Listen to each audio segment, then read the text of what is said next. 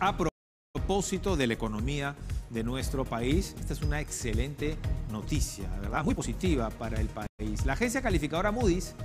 elevó la perspectiva de la calificación de deuda del Perú desde negativa a estable, destacando que la adopción de reformas políticas del gobierno alivian las preocupaciones sobre la estabilidad institucional a largo plazo. El presidente del Consejo de Ministros, Gustavo Eranzen, saludó la noticia a través de la red social X y tras calificarla de buena para el Perú, agregó textualmente, trabajamos para que más personas sigan apostando por el Perú.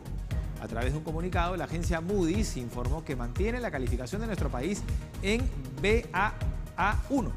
debido, según destacó, a que la solvencia soberana sigue anclada en la elevada fortaleza fiscal del país, a sus amplios colchones para hacer frente a los shocks